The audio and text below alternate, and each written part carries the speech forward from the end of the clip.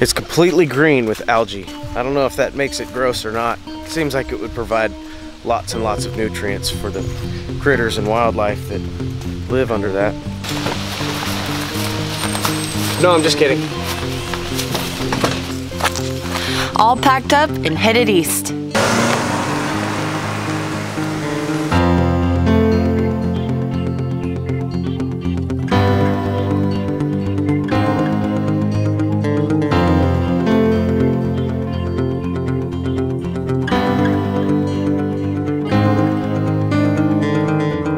Plan that we originally concocted was to leave Fort Parker State Park and go to Mission Tejas State Park and retackle those trails and learn some more CCC history.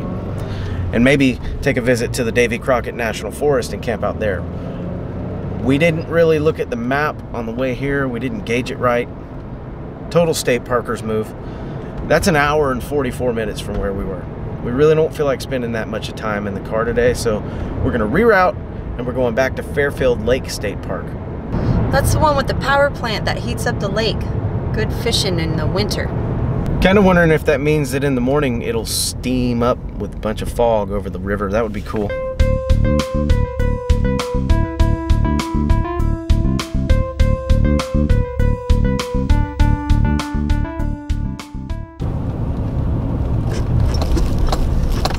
Well, we're here. We're gonna go in and talk to the rangers and see if they'll let us drive around and scope out the campsites before we actually pick one.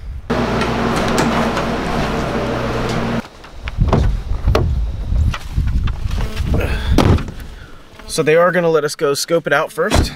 We're gonna go drive around Springfield camp area and see what we can find. According to the map in the office, this one looked completely empty. So we're gonna try to find a, a waterfront site. Even though it's a little cold outside, I don't think it's gonna be an issue. First name, your address, you know, your license plate on your vehicle. There you go. Well, yeah, this is gonna be nice. The sites across the way are empty and nobody's scheduled to come in. Much like Hill Country State Natural Area, we've got an amazingly large campsite this time. Way too much room for the two of us, but we'll utilize it. We'll walk around, play in the dirt. I don't know. We got a couple trails that split off right behind our campsite here. That's nice.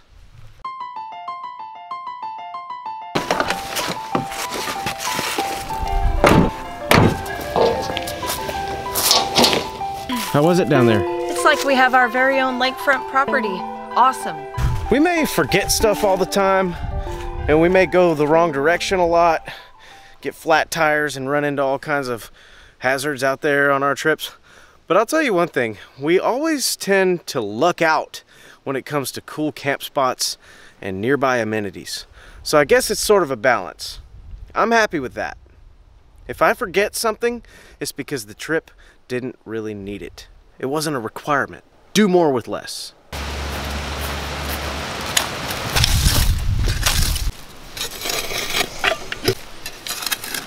As you all know, we usually use fat wood to get our fire started. And what I like to do is use napkins or paper plates, something real quick that can catch on fire that will get the fat wood started. So that's what we're doing right now. That fat wood is basically pine soaked in its own sap. It's all natural. You can cook over it. You could probably find it at your local grocery store for under $4 a box.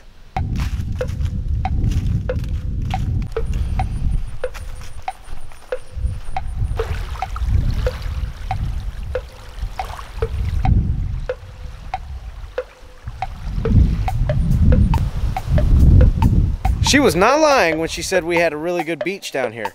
All to ourselves too. Got about 100 yards of shoreline here. The sun is going down back behind me, so we're gonna have a really beautiful sunset tonight.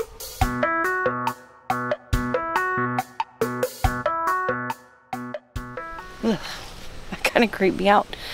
First, I thought I had a piece of hair on my face. I went like that.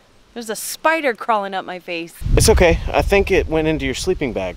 Okay, I was wrong. It went onto my backpack. What on earth could you possibly want with my car keys?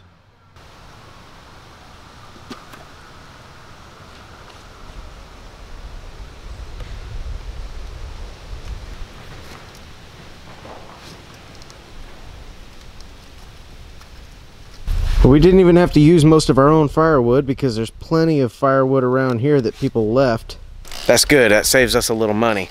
I don't know about you, but I'm looking forward to having some lunch. We've got some macaroni and cheese with chicken and bacon over there baking. Hold on. Let, rewind for a second. Let's analyze this. Macaroni and cheese, nobody doesn't like that. With chicken, most people like that, and it's probably one of the healthier meats there are for you. Bacon, even people who claim to not like meat still probably appreciate bacon in some form or another because it's quintessential to breakfast, the most important meal of the day. I'm talking about chocolate, breakfast, lunch, dinner, bacon. Peanut butter and jelly. Bacon! We are not being paid money by bacon to talk about how great bacon is.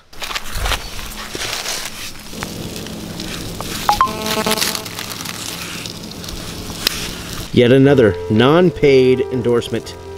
We love Goal Zero products.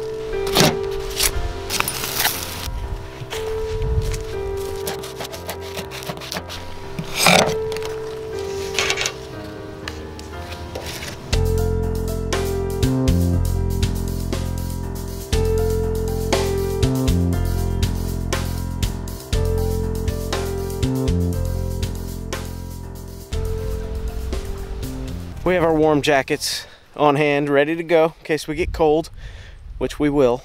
Well, as soon as that sun goes down.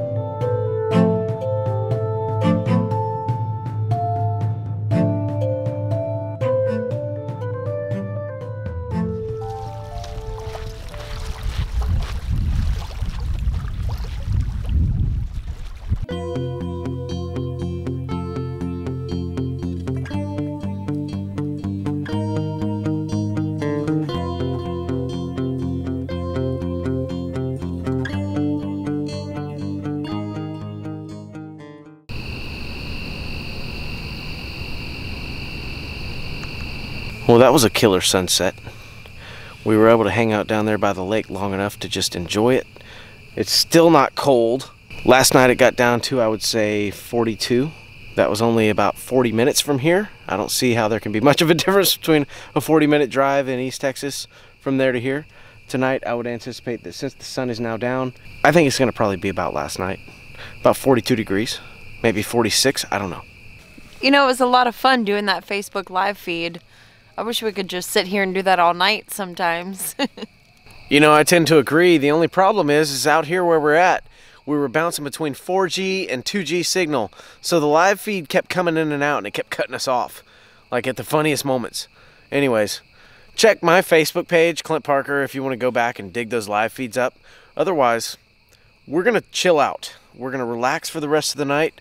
We have a full day out here tomorrow at Fairfield Lake if we decide to stay here. You know us. We never know what we're going to do until we actually do it. But we'll figure that out. Until then, y'all have a great night.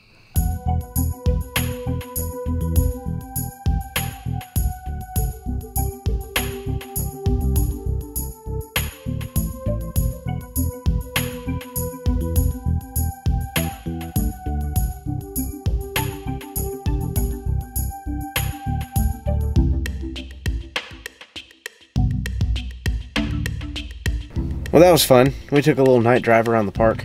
Now we're going to go back to camp, probably have a snack, and go to bed.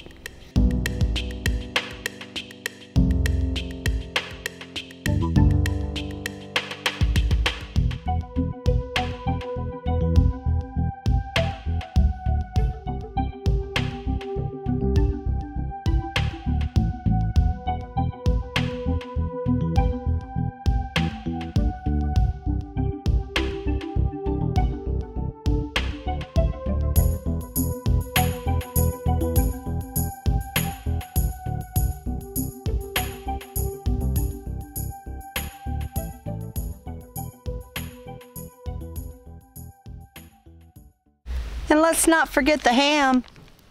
Another form of bacon.